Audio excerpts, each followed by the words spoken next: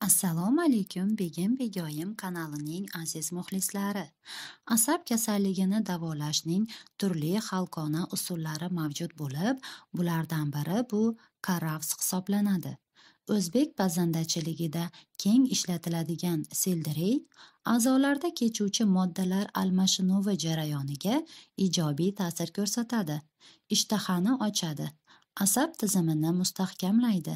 Tarkibidagi kaliy moddasi yurak qon tomir tizimiga ijobiy ta'sir ko'rsatadi.